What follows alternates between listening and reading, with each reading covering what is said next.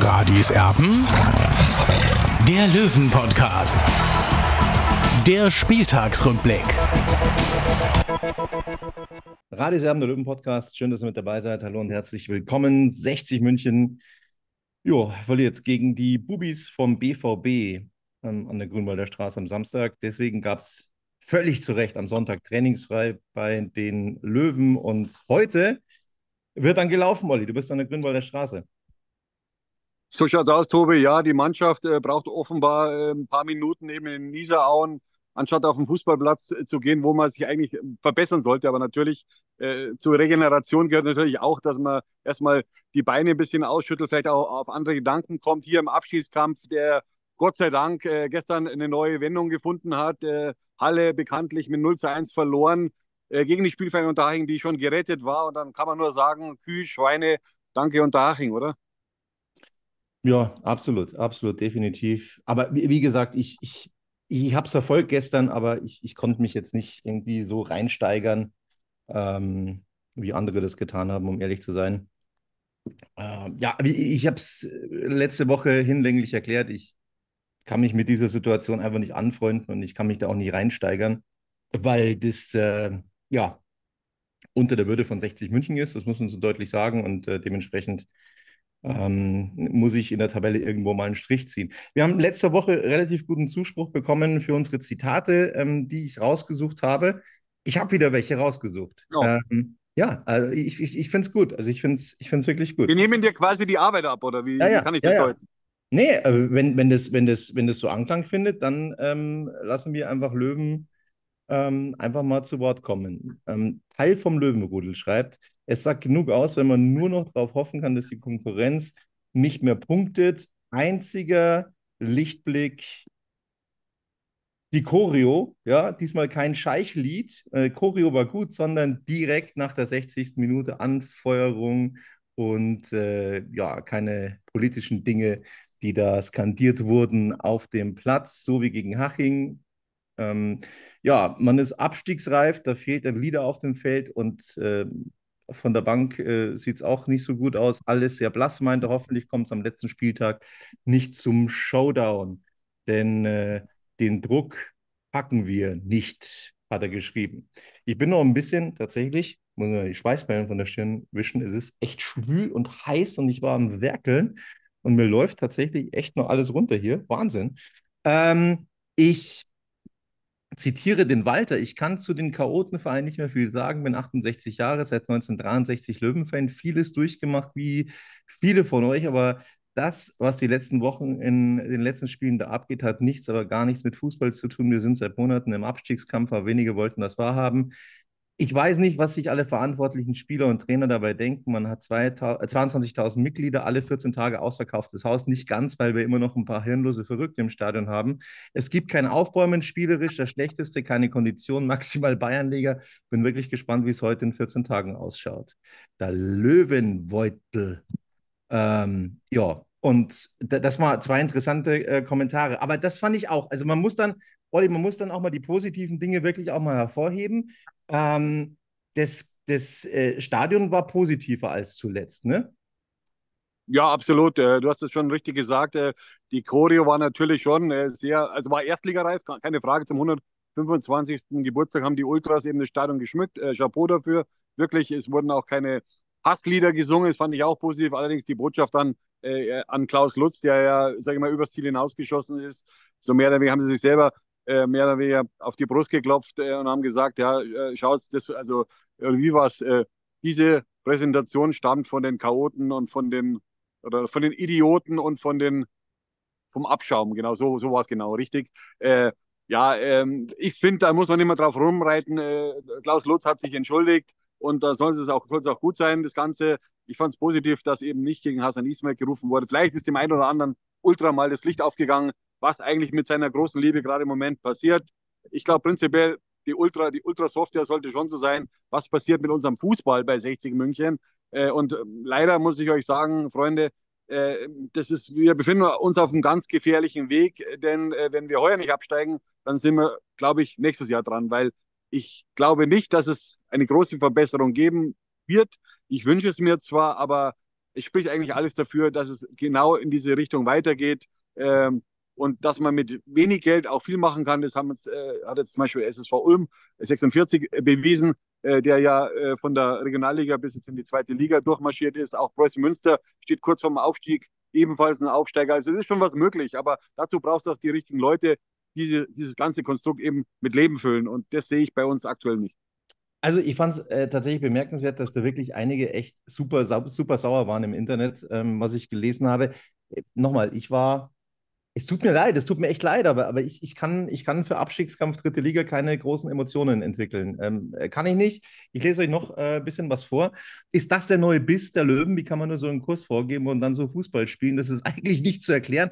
Dem ist schon mal gar nichts hinzuzufügen. Also in so einer sportlichen Situation, so eine Veranstaltung äh, rauszuhauen, Chapeau, das ist ein richtiges Gespür, muss ich echt sagen. Allergrößten Respekt. Jakobacci warnte vor solchen Situationen, niemand hat ihn ernst genommen. Und der jetzige Trainer, Fragezeichen, dem steht doch die Ratlosigkeit absolut ins Gesicht geschrieben. Ist das die Kontinuität, die Herr Reisinger meint? Ja, nach unten vielleicht, tut mir leid, dass ich nicht 68 äh, und hat mit dieser Marke nichts zu tun. Peinlich, peinlich. Jetzt singen die Fans erst, wie schlecht Fußball, äh, wer schlecht Fußball spielt, darf und muss ausgepfiffen werden, weil selbst jemand, der nicht Fußball spielt, sieht, dass dort viele keine Lust auf 1860 haben. Auch so eine Sache, wer, äh, was keiner hinterfragt. Allein, dass der bessere Torwart auf der Bank sitzt, das ist keine objektive Bewertung eines Trainers, ist mir unerklärlich. Man darf schleunigst zusehen, zweigleisig zu planen und zwar nach unten und im Worst Case sollte dann dort einer auf der Trainerbank sitzen, der diesen Verein auch wirklich versteht. Der jetzige Trainer mag eine Idee für eine Entwicklung haben, aber das ist eindeutig zu wenig für Profifußball. Sorry, das ist meine Meinung, das ist zu wenig.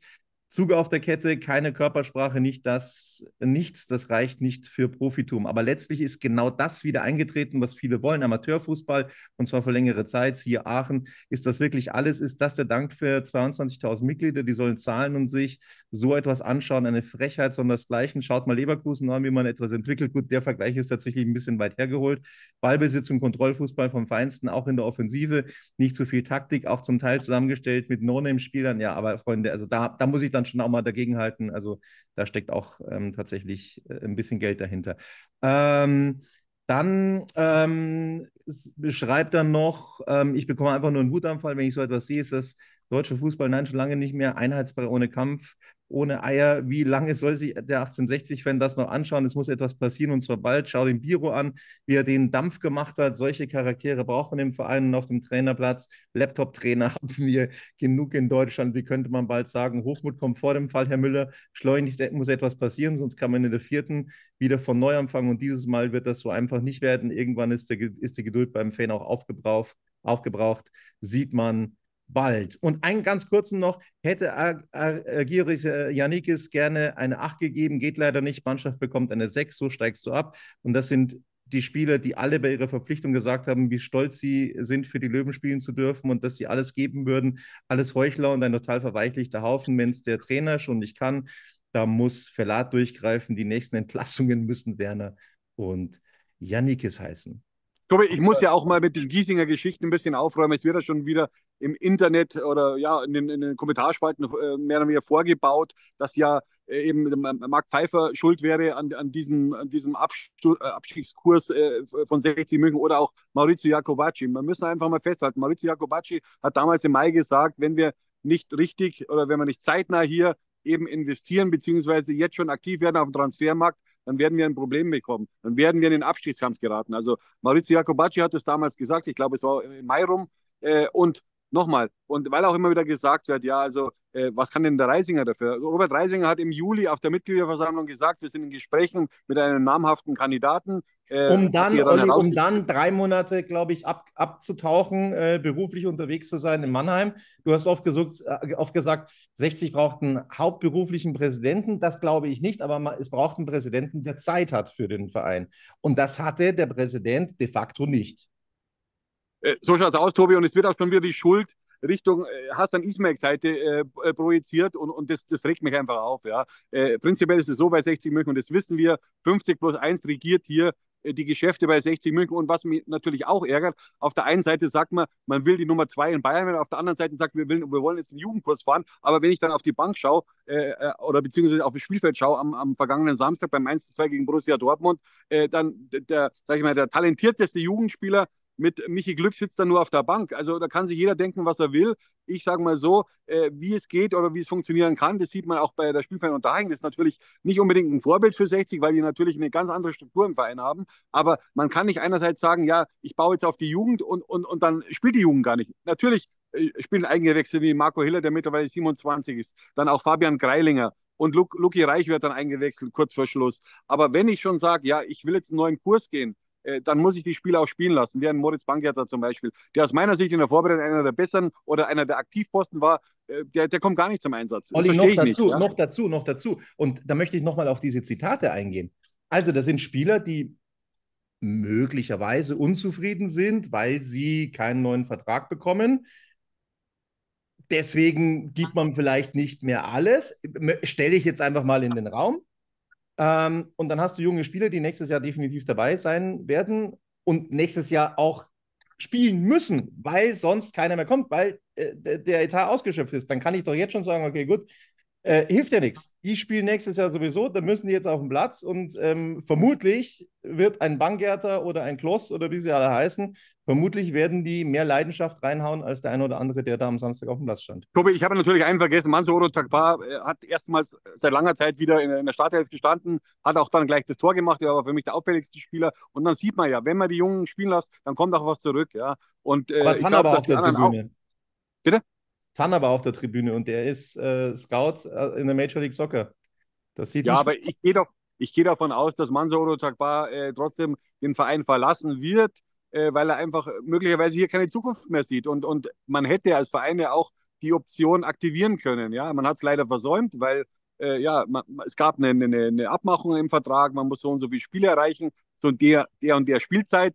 Das hat äh, der Verein versäumt, so deutlich muss man das sagen, auch weil Maurizio Jacobacci natürlich in der Vorrunde nicht auf ihn gebaut hat, aber trotzdem hätte man ab Januar diese Option noch aktivieren können. Das hat der Verein nicht gemacht und dann braucht er sich am Ende auch nicht wundern, dass so ein Spieler dann am Ende ablösefrei geht. Vielleicht gibt es noch eine Kehrtwende, das weiß man nicht. Ich hoffe es natürlich, weil der Junge prinzipiell großes Potenzial hat, aber man braucht sich dann eben nicht wundern, dass, dass junge Talente den Verein ablösefrei verlassen. Und was ich auch noch sagen will, ja. was ich auch noch sagen will, der Verein sagt ja jetzt, ja, also wir müssen den Jugendkurs fahren, aber ist vergessen dabei, dass 60 letztes Jahr den Fördertopf gewonnen hat und in den Jahren zuvor auch immer ganz oben mit dabei war. Also äh, in der Kölner Zeit, glaube ich, hat er Kölner Zeit ungefähr 1,5 Millionen Euro äh, eingespielt für den EV. Das darf man jetzt auch nicht vergessen. Olli, nach diesem sportlichen Offenbarungseid vom Wochenende, es war, es war einer, äh, was anderes fällt mir dazu nicht ein. Ähm, Hat es jetzt schon geheißen, dass für die letzten beiden Spiele die Trainingsgruppe reduziert werden soll? Hast du da irgendwas schon erfahren? Hast du schon was gesehen jetzt möglicherweise bei denen? Nein, also ich, ich glaube, bei der Laufrunde waren alle vollzählig äh, am Start. Ähm, es kommt ja vom Münchner Merkur. Äh, kann schon was dran sein, ja, äh, prinzipiell, aber ich sag mal, aus meiner Sicht wäre es jetzt Aktionismus, äh, jetzt äh, zwei Wochen vor Saisonende hier die Gruppe zu verkleinern das hätte man weitaus vorher machen können. Äh, und man hat ja äh, ganz bewusst den Kader mit vier Spielern verstärkt im Winter ja, und hat einen abgegeben mit, mit, mit äh, nein, zwei abgegeben mit, mit Tarsis Bonga und mit, äh, mit Niki Lang, der ja ausgeliehen wurde äh, an, an SC Freiburg 2. Äh, und man hat ja trotzdem wieder, oder andersrum, man hat die, die Gruppe nochmal aufgemörtelt. Ja? ich sage so, also ich kann mich da immer nur wiederholen, äh, wenn sich 60 punktuell verstärkt hätte, dann hätte es wesentlich mehr gebracht, als es, als es in die Masse zu investieren, zumindest aus meiner Sicht. Weil man muss ja auch sagen, Eliot Moteba und auch äh, Semi äh, äh, Güler waren nicht im Kader. Äh, das sagt eigentlich auch viel aus. Absolut. Die Transferpolitik aus dem Winter, also wer, wer die Transferpolitik vom Sommer kritisiert, der soll mal ganz genau auf den Winter schauen.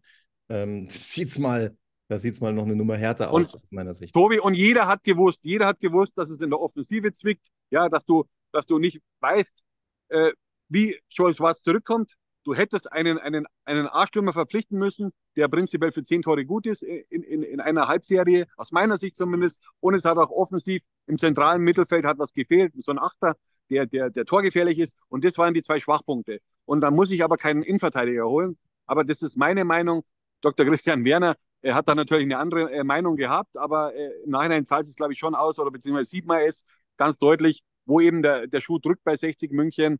Und ja, jetzt, jetzt stehen wir äh, Gott sei Dank kurz vor der Rettung. Auch nochmal Dankeschön an die Spielvereine Unterhaching, die wirklich großen Charakter gestern in Halle Und an den FC Ingolstadt, äh, der dann noch später ein 1-1 gemacht hat gegen ähm, die Waldhöfer. Ähm, ja, also fünf Punkte Vorsprung. Ich bin aber jetzt nicht überzeugt, dass äh, 60 diesen einen Punkt in äh, Essen holt. Äh, nach dieser Partie. Nein, ich, ich, zweifle auch dann natürlich dran, aber man muss trotzdem sagen, äh, wenn Bielefeld äh, nicht verliert gegen Halle, dann ist 60 gerettet äh, und ja, dann kann man da ähm, oder muss man über diese Saison den Mantel des Schweigens mal heben, sozusagen. Am besten jetzt schon, am besten jetzt schon, Olli. Ja, natürlich. ich bin maximal frustriert äh, was man aus so einer großen Fußballmarke machen kann, wirklich. Äh, also das ist ja nochmal eine Steigerung äh, und es hat mich in den letzten Wochen vieles an 2017 erinnert, wo wir leider nicht das Glück auf unserer Seite hatten. Möglicherweise auch deswegen, weil es kein VAR gab. Damals hat äh, Christian Gütja auch das 1 0 gegen Regensburg gemacht im Rückspiel. Äh, es hätte gereicht, aber leider gab es den VAR noch nicht. Aber wir hatten es damals auch irgendwie verdient, abzusteigen, obwohl ich glaub, glaub, heute noch glaube, dass wir jetzt woanders spielen würden, weil die Idee, die dahinter stand, war prinzipiell schon sehr gut. Äh, und jetzt sind wir wieder eben in einer absoluten Abwärtsspirale. Ich sehe auch keine Stagnation, wie das der Präsident Robert Reisinger gesagt hat, sondern wir sind im absoluten Sturzflug. Und äh, ja, wir können wirklich äh, drei Kreuzzeichen machen, dass wir uns in dieser Saison zu 99 Prozent retten werden. Fortsetzung folgt. Das war's von uns. Bis dann. Servus. Ciao.